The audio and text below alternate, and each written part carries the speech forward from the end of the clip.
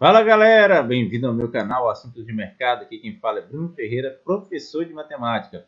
Bom, estamos aqui para fazer nosso quadro Bitcoin Notícias, é isso mesmo. Estamos aqui no site do CoinMarketCap, onde ele está listando agora atualmente as 5.759 criptomoedas informadas pelas exchanges. E o valor de mercado ele está cerca de 1 trilhão 445 bilhões 100 milhões 448 mil e 208 reais empregados aí nos mercados. E a dominância né, do Bitcoin, o BTC, a moeda mais importante que temos aí no mundo das criptomoedas, é de cerca de 62,3%. Tá? Ele vem perdendo espaço aí nas últimas semanas, né? Uh, e aqui as 100 principais criptomoedas por capitalização de mercado, Bitcoin está um pouco em alta, né? De cerca de 0,19% nas últimas 24 horas, cotada R$ 48.824,42, seguido pelo Ethereum, que está cotada cerca de R$ 1.257,67, está em alta também de 0,33%, e do Tether, né? Tether aí que roubou o espaço da XRP, cotada agora R$ 5,33, está em alta de 0,26%. Sabemos aí que quando o Bitcoin ele tende a estar em alta, algumas altcoins acompanham também esse movimento de alta, né? Mas a tendência aqui, como podemos ver, agora é de queda, pois o Bitcoin está fazendo uma reversão. Eu creio que ele vai encontrar um fundo em breve, tá, pessoal? Vamos lá para o TradingView onde aqui no TradingView, né, nós iremos ver a análise completa do Bitcoin em tempo real, dia a dia. Cada vela dessa representa um dia, tá? Então, que você consegue ver o Bitcoin desde seu surgimento até os dias atuais, na sua cotação atual em relação ao dólar americano. Então, vimos aqui que ele teve seu fundo né, de risco aí no ano de 2020, no dia 13 de março, chegando sendo cotado aí a aproximadamente 4 mil dólares, né?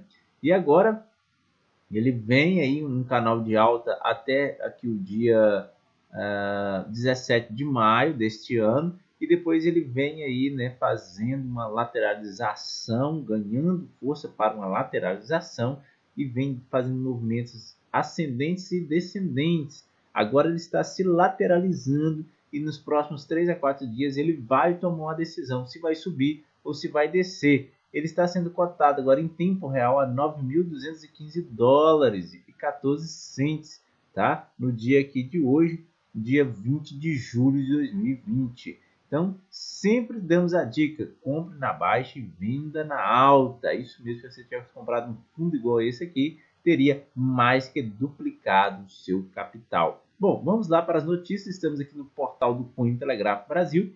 E uma notícia que vem aqui surpreender a todos, né? A CVM, a Comissão de Valores Imobiliários, parte para o ataque mais uma vez e proíbe mais uma empresa de Forex de atuar no Brasil. Sabemos aí que a CVM já proibiu esse ano a IK Option de oferecer contratos aí em Forex né, e contratos em opções binárias, já também proibiu a Binom, já notificou a Binom, agora vem proibindo aí a Union Standard International Group, é a nova empresa proibida de atuar no Brasil pela CVM. Olha lá o que, que aconteceu. Sabemos que a CVM é um órgão é, fiscalizador que vem aí regulando a questão de investimento, de contratos imobiliários. Você pode fazer esse trabalho, mas tem que ter a licença e o aval da Comissão de Valores Imobiliários do Brasil, CVM. Mais uma empresa de Forex foi proibida de atuar no Brasil pela Comissão de Valores Imobiliários, CVM.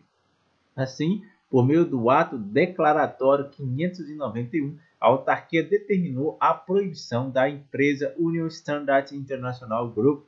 Né? A empresa atuava captando clientes no Brasil pelo nome de USGFX, por meio da página usgfx.com. Aos participantes do mercado de valores imobiliários e o público em geral que a empresa citada não está autorizada por esta autarquia a captar clientes residentes no Brasil, declarou a CVM. Então, com essa proibição, ela determina a imediata suspensão da veiculação de qualquer oferta imobiliária de oportunidades de investimento no denominado mercado Forex, de forma direta ou indireta, por meio da página mencionada ou qualquer outra forma de conexão à rede mundial de computadores. Ainda segundo a CVM, não, caso não cumpra né, a determinação judicial, a empresa está sujeita a uma multa diária de mil reais, alertando que a não observância da presente determinação acarretará a imposição de multa combinatória diária no valor de mil reais, tá? Destacou aí. Forex, embora o Forex ele não seja proibido no Brasil, as empresas que atuam né, com Forex, é, seja oferecendo cursos, investimentos ou plataformas voltadas para este mercado, para este assunto, é, estão sempre na mira aí, né, da, de, uh, sobre os olhos da Comissão de Valores Imobiliários, né? E em menos de poucos dias aí, né, determinou a proibição de mais de oito empresas nesse setor, cerca de 20 dias agora neste ano de 2020. O caso mais notório é a determinação da CVM, como no caso já dissemos aí, da Ikeoption, uma grande plataforma, empresa global que fornece né, é, esse tipo de negociação em Forex e criptomoeda tá? E não tem autorização da CVM. Mas além de que, a CVM também proibiu as empresas como a Binom, que é gigantesca, você vê propagandas aí dela para todo lado, inclusive no YouTube, FX Global, a Glasstrox Trader, FG, FG Markets, a Perpertone, a Harrison Investimentos, a Paladin FX, a Start Investimento, a Capitalia Limited e Ava Trader todas voltadas para a empresa de Forex.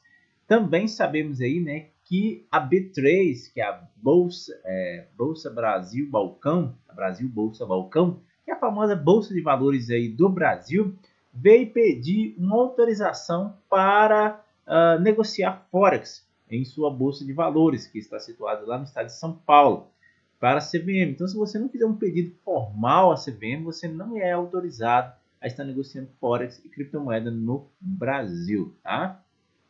A única plataforma de Forex então autorizada a operar no Brasil é a B3. Em março, a CVM aprovou a B3 a oferecer investimentos no mercado Forex. Assim, atualmente a Bolsa é a única empresa no Brasil autorizada pela CVM, portando legalidade documental para esse tipo de investimento.